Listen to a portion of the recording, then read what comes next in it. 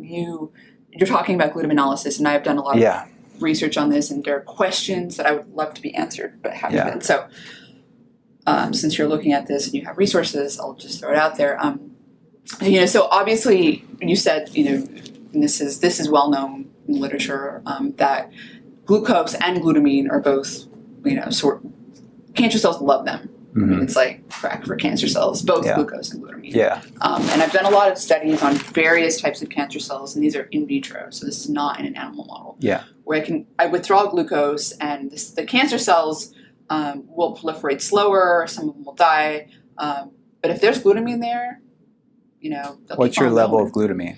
Um, two millimolar. Two millimolar. Yeah. Yeah. So then I would start withdrawing the glutamine. Yeah. Yeah, and okay. Withdrawal. I mean, this is all in vitro though. Um, glutamine withdrawal would kill them within like 24 hours. But Yes. so glutamine Pretty lethal. Yeah. very lethal Yeah, yeah. Um, and has been shown by uh, at least some of the studies that were uh, initially done by Ralph DeBerardinis when he was with Craig Thompson, Yeah. and later when he was you know, established Yep. his own lab, um, where he radio labeled and showed that actually it was being used predominantly for macro, macromolecular Yes. synthesis and not for, Yeah. you know, which is, of course, that makes sense because a lot of tumor cells aren't using their mitochondria. Making fatty acids actually. Making fatty acids, Yeah, proteins, like Yeah. for new Yeah. synthesis. the Um, cell so, membranes and stuff. Yeah. Right. Mhm. Um, so the question for you, um, the question that I have, and this is, so that's one end of the spectrum. Okay, glutamine seems bad when you're looking from an in vitro perspective, and Mhm. and I I've did these studies, but many people have published on this. You're Yeah. familiar with the literature. Um, but then there's the other perspective where glutamine is really really like your gut cells. It's very very healing and therapeutic for gut. And when you take glutamine orally, the gut takes it. It's not Yeah. getting into your bloodstream. It's not being, you know, so The gut and the liver take take its share, and very little of it actually gets into the bloodstream. right. So that's what I'm getting at. Yeah. The question is, if you have a mouse model of, you know, a solid tumor Yeah. um, that's not gut oriented, so it's not colon cancer, Mhm. or, you know, let's say it's, you know, you've got a pancreatic cancer or Brain tumor. Brain tumor. Yeah. Mhm. then you give the mouse glutamine, is that really, you know, so is it really going to affect the tumor or is it just going to help the gut? I mean, of course, it could indirectly affect it. But Mhm. the question for me, in my mind, is well, yeah, if you had a tumor in the gut, man, that's like crack for the tumor. Do not take glutamine. Do not, you know, but Yeah, on the other yeah. hand, if you've got gut issues, um, you know, Can be helpful. right? Do you see what I'm getting at? essential. Yeah. This is something that I've thought about. I'd stay up have? at night. Yeah, thinking about stuff like So- this. Yeah. I'm not alone. Yeah. Yeah. Yeah. because it's like, well, in vitro, it's Yeah. very different because the way our bodies are working and the way glutamine, you know, when we take glutamine, it's affecting our gut. You know, Yeah. it's, it's very important. I mean, Yeah, it helps. yeah. I've taken. I mean, I, I've. I It's to helped me. it. Yeah, Yeah. it's helped me with gut.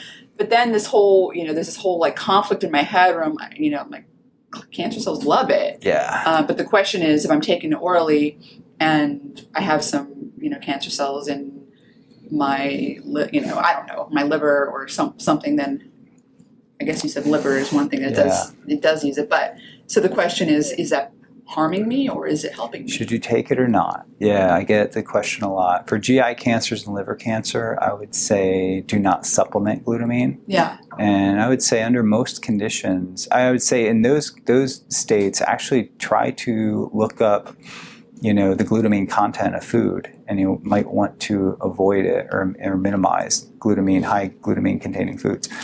Uh, otherwise, I wouldn't really pay too much attention. Some some patients really stress out about it, you know. Uh, but I think if you just keep your protein low to moderate, or keep your protein at a level to ensure proper, you know, uh, you know, regeneration and just kind of replenishment of your normal cells and prevent protein deficiency. Uh, and being in a state of ketosis will help with that to some extent. But glutamine's pretty low on the the classical ketosis, right, where it's Yeah. 10% protein. yeah, yeah. And I think that will lower your your blood glutamine levels. Just being on a ketogenic diet will do that. And then you could further lower it by selecting protein food sources that are lower on the end of, you know, our glutamine or not or avoiding protein types of supplements, avoiding glutamine supplementation altogether. Um, and you may be able to further suppress glutamine by taking a supplement that's like high branch chain amino acids, high essential amino acids. So taking uh, a supplement that is formulated in a way that kind of gives you essential amino acids, excluding you know glutamate. Of course, glutamine's not essential amino acid; uh, it's conditionally essential. Uh, but then you you I don't think you'll run the risk of being deficient in glutamine in any way. Uh, but I would avoid, I would pay attention to it if you have a GI cancer or liver cancer. And then Liver, if, I didn't know, but yeah, GI, I was definitely. so if you have, say for example, like a brain tumor and you're taking a drug that can impair, you know, systemically you're taking something that impairs your GI function, um, then it may be helpful to take a little bit of glutamine because I don't, I really don't think the the gut's going to be very greedy when it comes to glutamine. very greedy. So I think just you know maybe even five ten grams of glutamine to help repair your gut. We know that if your gut permeability is impaired, that can wreak havoc in your body as far as systemic inflammation. So.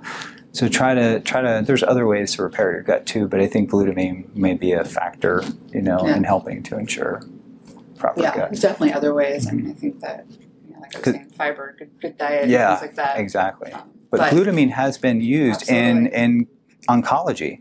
So, For- yeah, glutamine for helping people with chemo, combating the issues with chemo.